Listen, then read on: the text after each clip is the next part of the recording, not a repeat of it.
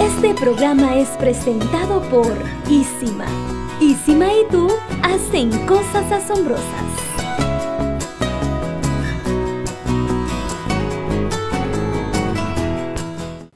Muy buenos días, ¿qué tal queridos amigos y amigas? Gracias por permitirnos un día más entrar a sus bellos hogares a través de las pantallas de Teleprogreso y con su programa Cocinando con Sandra Cáceres, siempre con el patrocinio de sus marcas amigas Isima y Chilos que le dan ese saborcito delicioso a sus preparados, sobre todo a las alitas picantitas que este día estaremos elaborando con pocos ingredientes, como siempre muy económicos y muy fáciles de adquirir. Así que en este momento precisamente vamos de compras para tener todos nuestros ingredientes listos y elaborar nuestro facilito preparado de este día. Recuerda muy bien, alitas picantitas.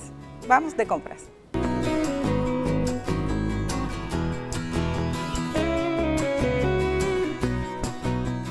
Bueno, como se trata de un platillo picantito, vamos a elegir entre la amplia gama de nuestros chilitos de sus salsas chilos.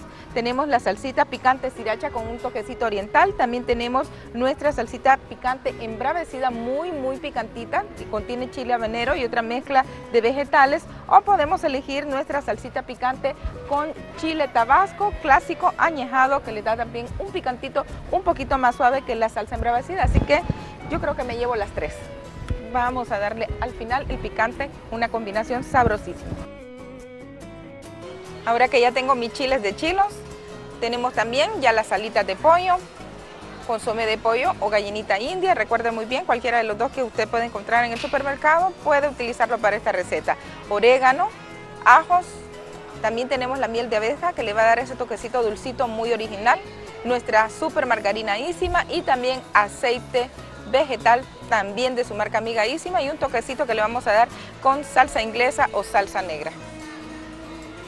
Para la preparación de las alitas de pollo picantitas vamos a necesitar 2 libras de alitas de pollo, 2 tubitos de consomé de pollo o gallinita india ísima, una cucharada de chile chilos de su preferencia, media taza de salsa inglesa, 2 dientes de ajo picados, 2 cucharadas de miel de abeja, una cucharadita de orégano, aceite o super margarina ísima para saltear muy bien nuestras alitas picantitas de este día.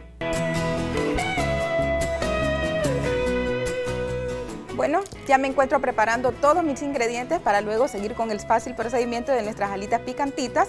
Espero que usted haya notado muy bien los ingredientes porque después de pausa comercial seguimos con la preparación de nuestro sencillo preparado. Recuerde muy bien, alitas picantes con sus productos Easy My Chilos. Ya regresamos.